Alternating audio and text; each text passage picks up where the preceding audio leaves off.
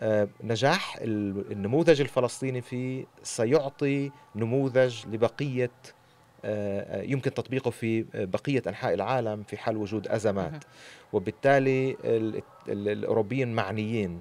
وخصوصا إنه آه، أعتقد في ظل الهجمة الوحشية الإسرائيلية الموجودة حاليا على قطاع غزة في ظل الظروف الحالية في ظل الإبادة اللي سميناها إبادة تعليمية في غزة النموذج هذا من أصعب النماذج راح يكون حول العالم ونجاحنا فيه إيه، ليس نعم. فقط كجامعة نجاح نجاحنا فيه كنظام تعليمي فلسطيني كوزارة تعليم عالي فلسطيني هو راح يكون آه، آه، أو يقدم نموذج رائع لذلك واحد من ال آه، من ال من ال الباكجز اللي مقدمة على مبادرة التعليم اللي حاليا بنقوم فيها هو دعم البحث والتقييم لنتائج هذه المبادرة لأنها فعلا رح تشكل نموذج للعالم واستخلاص نعم. للعبر آه، في كيفية إيجاد نظام تعليمي ممانع حقيقي في ظل نعم. الأزمات